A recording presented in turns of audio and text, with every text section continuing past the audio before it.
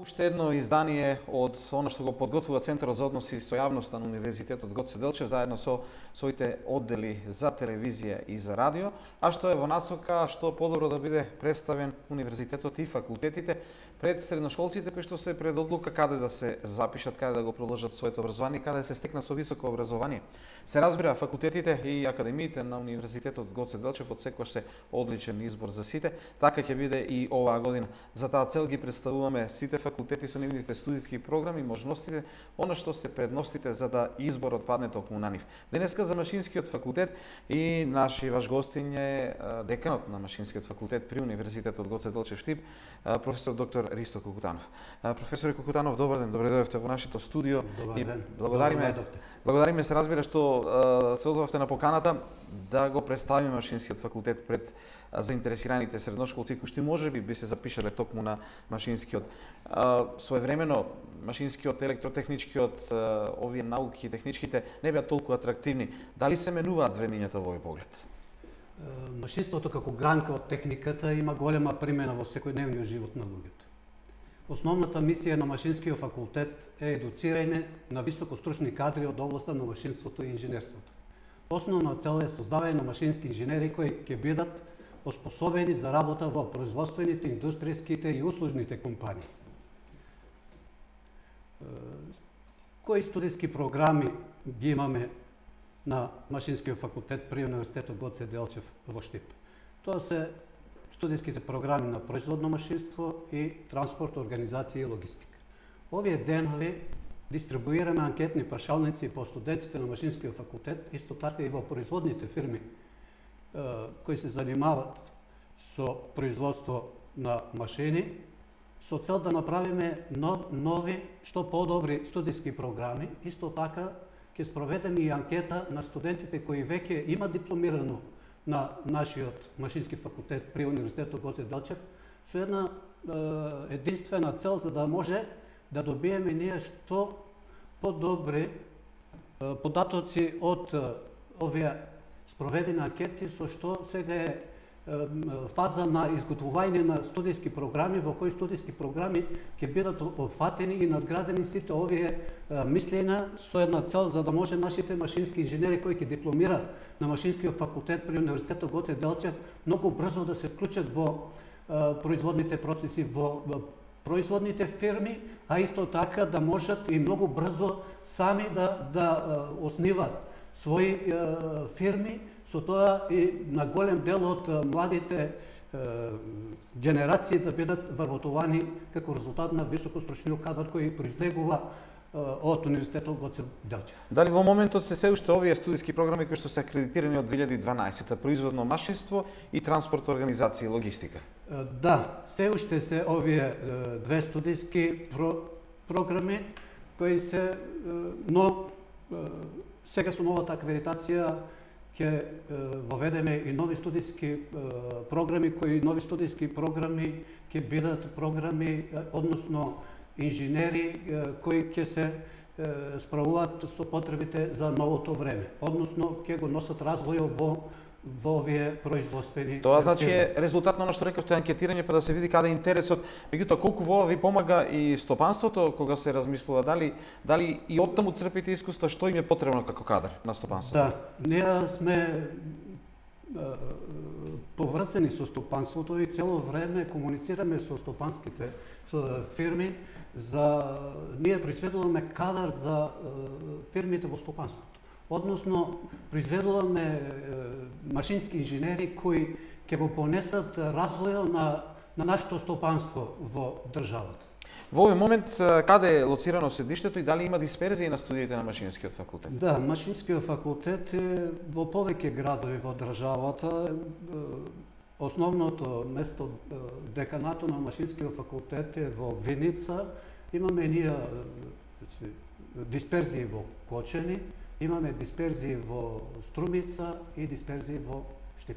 Сепак, како и обично, оние кои што се заинтересирани треба да знаат дека освен тоа кои ќе се запишуваат дека можат документи да поднесат а, во Штип на централното запишување, можат и во Виница, во седиштето, за да биде поблиску така, до нив. комуникацијата, универзитетот има воспоставена комуникација секојдневно, така да без разлика каде да бидат поднесени документите или потребите на студентите дневни, тоа денес е документот испрати од било која кој град на дисперзиите на следниот ден веќе е документот назад вратен. Така, Значи, да не се чувствува- поврзаност, да, иако сме поставени на, на повеќе места, тоа во повеќе градови низ е, Републиката, мислам, Дали тоа е добро за студентите да да имаат можности сепак да не патуваат премногу кога ќе треба да завршат одредена Па да работа? ти кажам, тоа, тоа е голема предност, голема предност. Јас сум бил студент, сум подалеко студирал од моето родно место, знам која кои се предностите и слабостите. Моите деца студираа во Штип на Универзитетот Гоце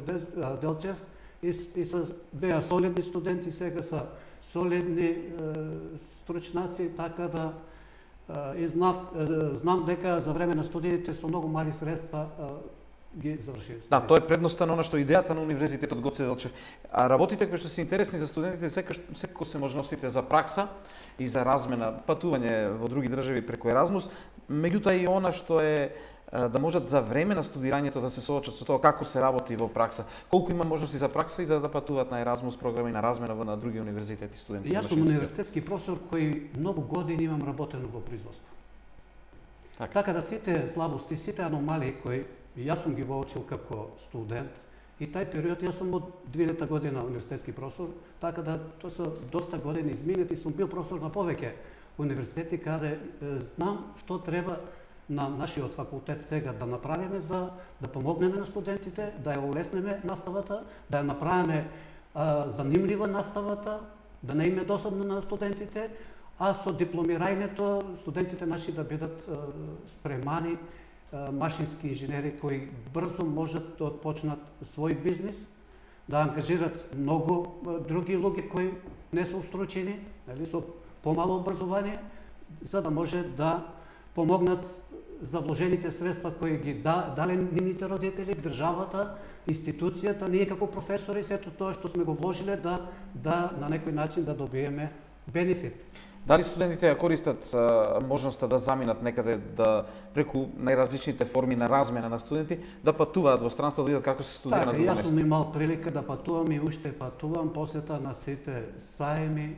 Сега ние на ниво на ректорска управа, Сенато има одлука каде најдобрите студенти по генерации, по по дисперзии ќе бидат на терет на на универзитетот носени по сајмите за за техника каде ќе ќе научат доста е, нов, новини и ќе видат техниката како е Практично ќе бидат во тек со да, со машинството во светот. технички решенија. Ова ќе се на- случува во мај ако не се лажам, така? Така, тоа се тоа се сајмите во средината на мај, убав месец, каде ќе може да меѓу другото и да направат посета на метрополата Белград и на другите метрополи, да може да, да посетат да биде значи, малку искомбинирана ова посета, покрај посета на сајмот за техника, да може да, да на, на овие студенти да добијат некое задоволство од нивниот нивниот вложен труд. Така. А, интересно е дека и универзитетот сака да ги помогне студентите со стипендии. Тие конкурираат се разбира за она што е стипендија од државата, колку има интерес меѓу студентите и колку се заинтересирани и може да добијат стипендии за да го олеснат своето образование од финансиски аспект. Да, во процесот на трансфер на знаење и искуство со работката со факултети од областите на машинските науки ќе биде од голема важност и за студентите и за вработените на машинскиот факултет при Универзитетот Гоце Делчев во Штип. Преку подпишување на договори и меморандуми за соработка со други универзитети, покрај учеството во образовниот процес на машинскиот факултет од страна на професори ангажирани од странски и партнерски универзитети, можности за студентска размена преку Еразмус, ЦЕПУС, ДАТ и други студиски програми ќе овозможат голем дел од студентите на машинскиот факултет да изведуваат студентска пракса или да извршуваат научно-истражувачка работа на е, странски универзитети. Исто така имаме е, интензивирање на соработката со студентите, организирање на редовни средби со студентите. Студентите се движечката сила на, на машинскиот факултет и целокупниот ентузијазам и енергија на вработените на машинскиот факултет се насочени кон обезбедување на подобро и услови со за целокупниот развој на едните машински инженери кои произлегуваат од Машинскиот факултет при Универзитетот Гоце Делчев. Интензивирање на студентската размена покрај учеството во Еразмус програмата студентите од Машинскиот факултет ќе имаат можност да учествуваат во студентски размени и летни школи, што се организираат од други фондации, како тоа што се даат а се а во моментот се недоволно искористени од студентите на Машинскиот факултет. Најмногу за Еразмус се говори, другите веројатно треба уште повеќе да се популаризираат, предпоставувам. Сето тоа најголем дел рековте она што што е посети на сајми на товар на универзитетот а, преку Еразмус програм исто така поволно, а самото студирање е и преку стипендии. Конкурираат ли студенти од Машинскиот факултет за стипендии бидејќи државата се обидува да ги промовира техничките насоки техничките науки во, во Република Македонија? Поголем број на фондациите од Македонија и Европската Унија нудат можности за стипендирање на најдобрите студенти. Со цел студентите да се запознаат поблиску со условите за апликација на одредени стипендии, ќе бидат организирани отворени денови каде ќе бидат представени можностите за стипендирање што ги нудат сите релевантни национални и интернационални фондации. Сите информации за овие фондации ќе бидат достапни на веб страницата на Машинскиот факултет при Универзитетот Гоце Делчев. Значи секој студент може да се информира и да се обиде да добие стипендија, што секако е добро за студирањето. А, колку што знам, можностите меѓу техничките факултети е па овде може и за возрастните групи над 35 години. За тоа треба да се информираат секако во владата. И најважното, а, која е перспективата на студентите од Машинскиот факултет по завршувањето? Колку е денеска Лесно или тешко да се дојде до работа со дипломата од а, машинскиот факултет? Колку е баран кадар од машинските факултети?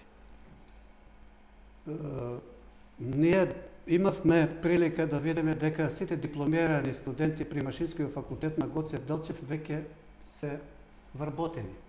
Дел од нив се вработени во топилницата, дел се е, вработени во Кочанското стопанство, така да и во другите градови низ нашето стопанство, така да од аспект што Машинскиот факултет е, произведла мал број на инженери. Ние нашата заложба сега ќе направиме да да ги повикаме студентите да се е, запишат на Машинскиот факултет, со тоа што сите наши досегашни дипломирани инженери сите се вработени студенти, односно дипломирани инженери кои имат дипломирано нема на, на агенциите за вработување. Значи, стопанството да. очекува вакви кадри да. и има потреби на побарување. Со сите наши новини сега кои, кои се веќе имплементирани, со заборавивме да кажеме дека нашите студенти задолжително два пати во месецот ќе одат на теренска настава по производните фирми.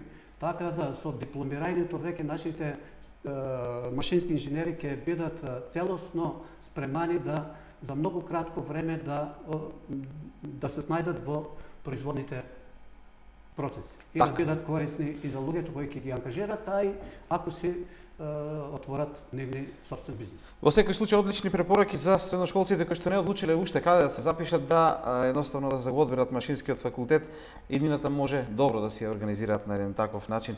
професоре Декане Кукутанов ви благодарам на гостувањето и промоцијата на представувањето на некој начин на машинскиот факултет. Се разбира ќе се соочите со студенти нови кои што ќе дојдат кои што ќе треба да се пренесат знаења. Ми се допаѓа тоа што го рековте дека ќе се вовидуваат новини да биде поблиско да не биде нешто далечно за студентите тука да биде привлечно и поинтересно. Верувам дека ќе успеете во таква намера со својот кадар на Машинскиот факултет. Благодарам уште еднаш. Тоа беше представувањето на Машинскиот факултет на Универзитетот Гоце Делчев. Го проследивте разговорот со професор доктор Ристо Кугутанов, декан на овој факултет. Подсетување се разби на нови факултет, како и на сите останати, а, големата предност е во електронското пријавување на испити, електронското плаќање на потребните средства, олеснување до крајни граници, но и во комуникацијата со кадрот кој што е вработен на универзитетот, кој што е на едно високо ниво и кој што возможува полесно да ги завршите сите формалности и полесно и на поинтересен начин да дојдете до знањата и на Машинскиот факултет.